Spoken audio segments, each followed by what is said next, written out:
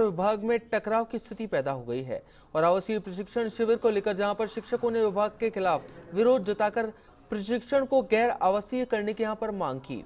वहीं पर इस पर विभाग ने कड़ा रुख अपनाते हुए प्रशिक्षण शिविर में नहीं भाग लेने वाले शिक्षकों पर कड़ी कार्रवाई करने के यहाँ पर आदेश देते हुए उनकी वेतन कटौती के भी यहाँ पर आदेश जारी कर दिए हैं।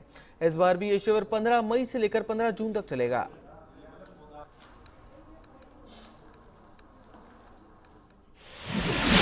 हर महीने दो बार ट्रेनिंग हो रही थी कि उसको एग्जाय किया जाए, शिक्षक विचलित हो रहा था, हर महीने में दो टीचर्स एक सब्जेक्ट की दो टीचर तो व्यवस्था बिगड़ी थी। इस वजह से संगठन ने मांग की थी कि जो प्रशिक्षण है वो एक साथ हो जाए। इसके लिए मुख्य सचिव को ज्ञापन दिया था। मुख्य सचिव जी ने उसको मानते हुए प्रशिक्षण तो कर दिया, लेकिन उसको आवासीय कर दिया। अब संगठन की डिमांड है कि जब मॉड्यूल में जो ट्रेनिंग है, उसमें रात में कोई मॉड्यूल नहीं है आवासीय का।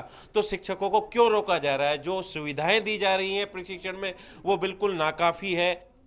यहाँ व्यवस्थाओं और स्तर का सवाल है, जिन प्रशिक्षण स्थलों पर शिक्षकों को रोका जाएगा वहाँ पर कोई भी प्रकार की स्तरीय व्यवस्थाएँ नहीं है।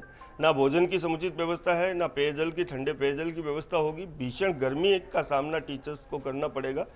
जब तापमान 50 डिग्री सेल्सियस को क्रॉस कर जाता है मई लास्ट और जून में, उस समय ये प्रशिक्षण होने होते हैं।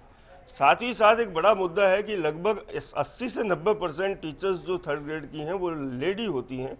और इतनी बड़ी संख्या में लेडीज़ को वहाँ पर बाथरूम की टॉयलेट की बिना सुविधाओं के और वहाँ रात्रिकालीन काम किया जाना, पूरा दिन वो गर्मी में जैसे तैसे अपना प्रशिक्षण पूरा कर सकते हैं। लेकिन रात्रिकालीन विश्राम भी वहीं करना पड़ा उनको तो न रात को उनको नींद चैन की आएगी, न दिन में चैन मिलेगा।